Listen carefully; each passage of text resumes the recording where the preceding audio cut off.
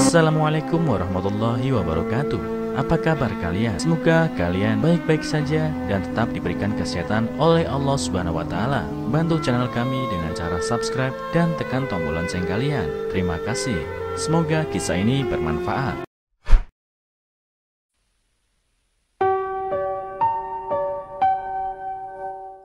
Pria bakar kantor bank tak terima permohonan pinjaman ditolak karena hal ini.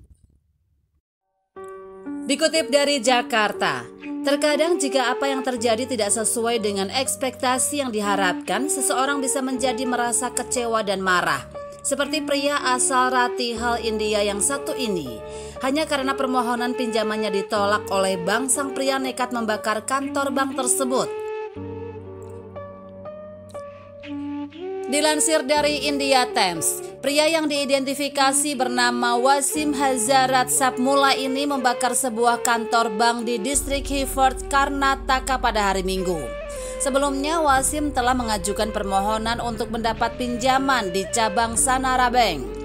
Namun karena Wasim memiliki skor sibil atau Credit Information Bureau India Limited yang rendah, maka pihak bank pun menolak pengajuan tersebut. Tidak terima dengan mendapat penolakan dari bank, Wasim pun merasa kesal dan memilih untuk membakar kantor bank tersebut. Setelah Wasim sampai di kantor bank pada malam harinya, dia lalu memecahkan jendela dan menumpahkan bensin ke dalam kantor bank dan membakarnya. Melihat asap dari kantor bank, orang yang melintas di depan kantor bank tersebut pun langsung melaporkannya ke pihak berwajib. Wasim pun akhirnya ditangkap ketika dia sedang mencoba melarikan diri dari desanya. Insiden tersebut kemudian menjadi viral di internet. Tak sedikit netizen yang memberikan komentar dan bahkan membuat meme untuk pembalasan dendam yang dilakukan Wasim kepada pihak bank. Menurut pihak kepolisian sendiri, kebakaran yang dilakukan oleh Wasim itu telah menyebabkan sejumlah kerusakan di kantor bank. Beberapa barang yang rusak di antaranya ada lima komputer, kipas angin, lampu, printer buku tabungan, mesin hitung uang, dokumen CCTV, serta loket uang.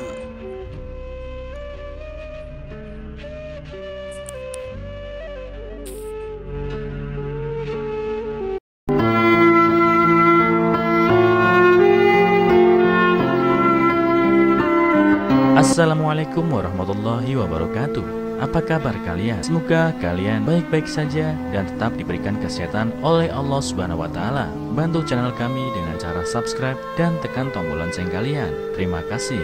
Semoga kisah ini bermanfaat.